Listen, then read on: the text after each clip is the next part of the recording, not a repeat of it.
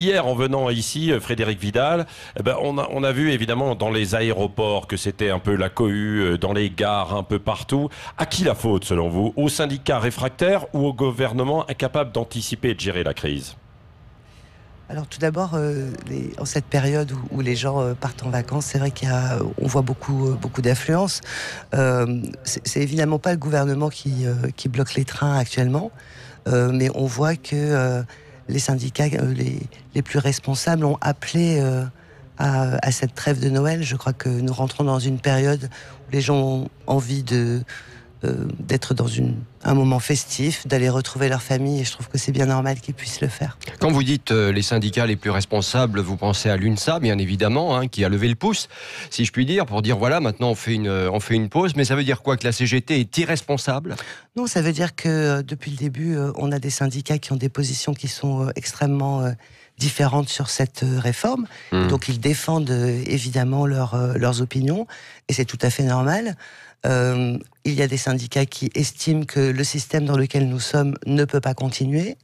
Euh, et c'est évidemment aussi euh, l'avis du gouvernement. C'est pour ça que nous proposons un, autre système. Hmm. Les syndicats adhèrent à, cette, à cette proposition et à l'idée enfin, que. Adhère, adhère, tout est relatif quand même. Non, hein. je, crois que c'est très important de rappeler que sur la, la question du, du, d'un système qui soit plus lisible, plus compréhensible, plus juste. il y a tout des le monde, qui Tout le monde veut une réforme, et vous le savez bien, sauf que la plupart des syndicats ne veulent pas de votre réforme. Alors, je ne peux, pas, euh, je peux pas tout à fait euh, vous laisser dire ça. Je crois que euh, il y a des avancées qui sont saluées par certains syndicats. Il y a des syndicats qui réclament depuis longtemps une réforme euh, telle que nous la proposons, à point, plus lisible, plus juste. Il y a encore des ajustements à faire, il y a encore des discussions. C'est pour ça que le Premier ministre euh, les recevait encore euh, hier et avant-hier et les recevra encore en janvier. Alors justement, puisque vous parlez du Premier ministre, hier Édouard Philippe a dit qu'il était reconnaissant et admiratif des Français qui galèrent. C'est étrange comme déclaration, non? Non, c'est, je crois que c'est reconnaître aussi qu'il y a énormément de gens qui sont très très impactés par, euh, par ces grèves et, euh, qui néanmoins trouvent des moyens pour rejoindre leur travail à pied, à vélo, prennent leur voiture, se lèvent beaucoup plus tôt et font en sorte que le pays ne soit pas totalement paralysé. mais vous croyez que les, les Français concernés sont admiratifs et reconnaissants de, de la galère dans laquelle le gouvernement les a plongés? Alors, c'est une fois de plus, hein, euh, c'est votre analyse de dire que le gouvernement les a plongés euh, dans cette galère. Euh, cette réforme des retraites, elle était. Bah, gouvernement et syndicats sont co-responsables de la situation actuelle dans les transports, au quotidien.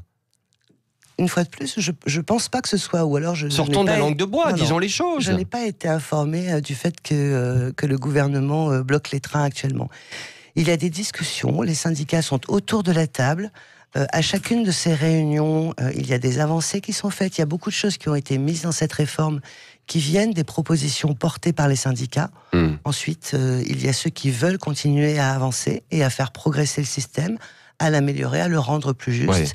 Et puis ceux qui ont décidé que non, on ne change Vous rien. Vous dites, le gouvernement n'y est pour rien dans ce qui se passe aujourd'hui, mais beaucoup disent aussi que le gouvernement a fait un pari présenter cette réforme 15 jours avant les fêtes de Noël, en se disant oui, ça va grogner, mais comme il y aura les fêtes, tout le monde va se calmer bien tranquillement, sauf qu'en réalité, ça, ça a tourné au vinaigre. C'est pas le scénario qui s'est produit et le résultat, il est ce qu'il est aujourd'hui. Vous auriez pas pu présenter cette réforme début janvier pour pas embêter les Français vous savez que cette réforme, elle est travaillée depuis, euh, depuis maintenant euh, presque deux ans, plus de deux ans. Bah, justement, il y avait le temps. Euh, elle a été, un, un, premier rapport a été remis beaucoup de choses étaient sur la table depuis mmh. cet été. Euh, on nous a euh, beaucoup reproché euh, d'annoncer des réformes sans les avoir discutées mmh. et sans les avoir fait évoluer avant de les annoncer. nous avons cette fois-ci discuté, pris des propositions. Bah, visiblement, il y a eu des discussions, mais pas des négociations. Résultat, on en est là où on en est aujourd'hui. Bah, c'est ce que disent tous les syndicats. Non, je pense que ce n'est pas ce que disent tous les syndicats. C'est ce que dit euh, la CGT, c'est ce que dit FO.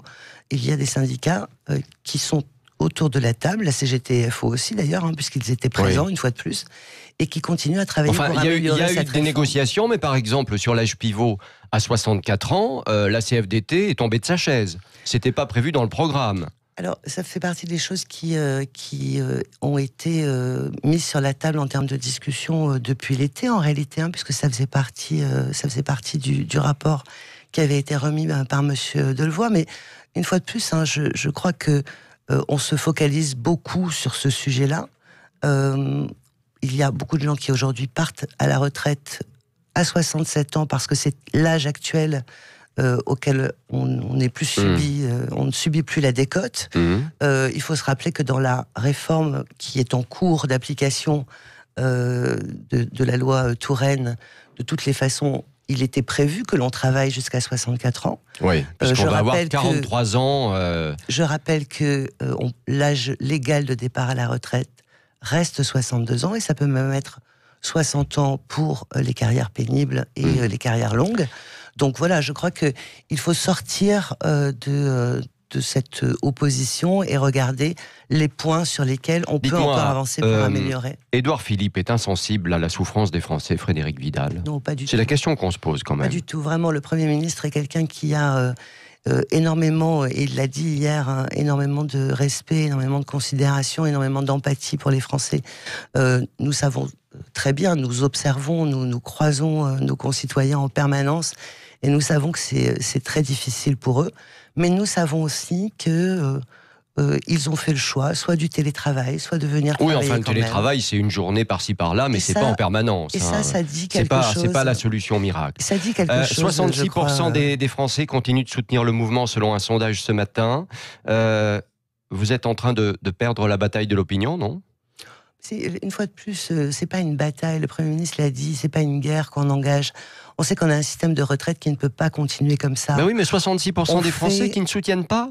Non, non, non, non. C'est pas 66% des Français qui ne, soutiennent sont pas, d'accord avec réforme.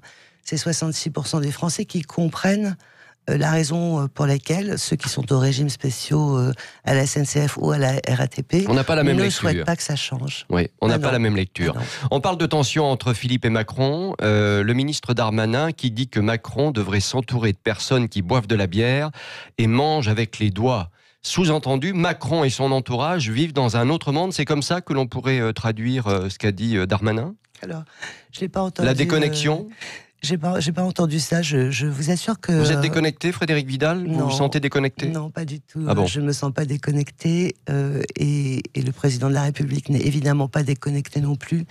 Et une fois de plus, nous étions euh, en Conseil des ministres. Euh, mercredi et je vous assure qu'il hmm. n'y a aucune différence entre le point de vue du président et du Alors, Premier ministre. parmi les, les victimes collatérales hein, de ces mouvements euh, de grève, il y a euh, des étudiants qui ont vu leurs examens reportés. Ça concerne euh, beaucoup de monde. Vous avez des, des nouveaux chiffres? Oh, C'est quelques milliers sur, sur un, un, peu plus de, de 2 millions et demi d'étudiants. C'est extrêmement difficile pour eux, évidemment, parce que quand on se prépare à des examens, c'est toujours compliqué qu'ils soient reportés. Il y en a une petite partie qui se dit que finalement, euh, ils, pourront profiter de 15 jours de plus pour réviser. Hmm. Euh, c'est vrai que les, les, grèves de transport impactent sur Comment ça va se passer pour ces étudiants Donc en janvier, euh, ils vont repasser. Alors, soit les épreuves sont, sont reportées de manière à ce que tout le monde puisse s'y rendre de façon sereine. Hein, quand on, on se demande si on va avoir euh, un moyen de transport. Euh, c'est évidemment pas bon euh, avant d'aller passer un examen.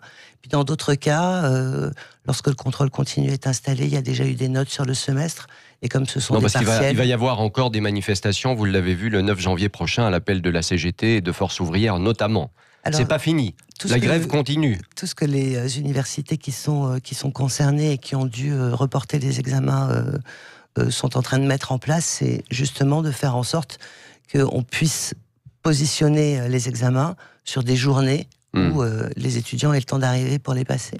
Dites-moi, le Premier ministre a dit que les enseignants pourraient bénéficier d'une retraite progressive, c'est-à-dire? Non, ce que... Ce qu'a dit le Premier ministre. Euh, c'est quoi une retraite progressive? En ce qui concerne les enseignants, en ce qui concerne les, chercheurs aussi, on a aujourd'hui un, un, nécessaire besoin de revalorisation des salaires. Oui de façon à ce que euh, il n'y ait pas de perte dans les pensions. Euh, et c'est une catégorie qui est très particulière puisque euh, il y a très peu de primes et donc il faudra qu'on compense ce, ce, manque de primes actuelles. Et donc ça c'est une compensation qui se fera de façon progressive. Et après il faut qu'on travaille la transition. Et cette transition il faut qu'elle soit le Premier ministre y insiste, et ça c'est vrai pour toutes les catégories de personnel, il faut qu'elle soit la plus douce et la, la moins oui, parce que possible. Dans les chiffres qui ont été avancés pour les enseignants, ça fait une augmentation de 50, 40 euros par mois en gros, alors que disent à la retraite, on va perdre entre 400 et 500 euros. Donc c'est quand même. Non, mais une fois de plus, hein, je ne sais pas euh, d'où sortent, sortent, ces chiffres-là. C'est eux qui le disent, les syndicats enseignants. Absolument, mais une fois de plus, hein, je ne sais pas d'où sortent ces chiffres-là parce que l'engagement qui a été pris, euh, c'est que les pensions ne baisseront pas pour ces catégories de personnel. Et si ça signifie qu'il faut revaloriser les primes dans le temps de façon à ce qu'au final les pensions ne baissent pas, ça fait quand même plus d'argent chaque mois pendant toute la période active pour au final la même retraite il n'y a pas du hmm. tout de perte de ce point de vue-là. Dernière question, c'est le jour J pour Parcoursup. Oui, euh, c'est Ça y est, il faut s'inscrire sur la plateforme, c'est parti Non, pas encore. Aujourd'hui, c'est l'ouverture de la consultation de la plateforme. Ouais. Euh, et puis, Donc il faut y euh, aller quand on est lycéen il faut, il, faut aller, il faut aller regarder les lycéens, leurs parents évidemment, ceux qui veulent se réorienter. Puis il y a une nouveauté cette année, c'est pour toutes les personnes qui euh, souhaitent reprendre leurs études après euh, les avoir interrompues. un module particulier dans Parcoursup qui s'appelle le Parcours Plus et qui permet d'avoir accès à des formations qui vont être hmm. plus spécifiquement dédiées à des gens en reprise d'études. Ça a marché. Il y avait eu des problèmes quand même l'an passé. Ça a marché, ça, ça a globalement extrêmement bien marché. Merci Frédéric Vidal, ministre de l'Enseignement supérieur, de la Recherche et de l'Innovation. Merci beaucoup euh, à vous deux. Restez avec nous. C'est la suite du Grand Matin Sud Radio, 7h50.